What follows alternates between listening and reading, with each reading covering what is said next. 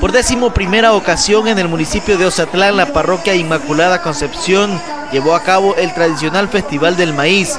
Las calles céntricas del municipio se tornaron en una verdadera fiesta de agradecimiento por la cosecha. La número 3 es Carla Giselle Guevara Maravilla, de la comunidad Santo Domingo. La número 4 en este caso es la niña Tatiana Elizabeth Funes Castillo, de la comunidad Nuestra Señora de Lourdes. La número 5 es Rosalina Yamilet. Las niñas y jóvenes representantes de varias comunidades participaron en la elección de la reina del festival. Cada una de ellas lucieron sus trajes típicos elaborados por las manos osatlecas. Aquí está la forma de la representante de San Antonio. El platillo típico elaborado a base de maíz que pustacas son bien ricas y bonitas.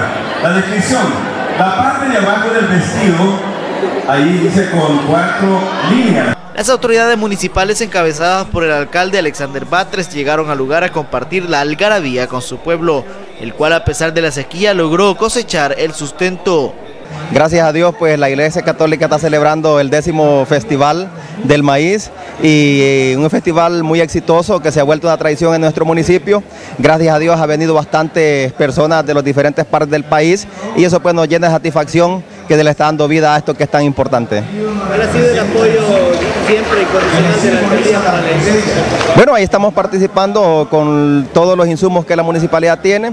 Eh, de hecho, pues hoy estamos utilizando el autobús también porque vamos a darle transporte a la banda panamericana desde la ciudad de San Miguel que va a venir a alegrarnos a la altura del mediodía, a la hora del almuerzo, eh, para poder de los deleitar con la bonita música que interpretan estos jóvenes y niños que esta banda pues trae para nosotros. Quien también llegó a saludar al pueblo osatleco fue el diputado Manuel Orlando Cabrera Candray. Estamos en Ozatlán acompañando al pueblo osatleco, acompañando al alcalde nacionalista Alex Batres y su distinguida señora esposa, como a todo el Consejo Municipal. Estamos haciendo presente en, Ozatlán, viendo el Festival del Maíz, participando en el Festival del Maíz, apoyando y motivando estas acciones, que son acciones desde la sociedad civil para la sociedad civil que reivindican lo nuestro. Y tenemos que apoyar, porque esta es nuestra cultura, nuestra propia educación y cultura, la cultura popular salvadoreña, la cultura popular de Ozatlán. Las ventas de comida a base de maíz estuvieron por todos lados.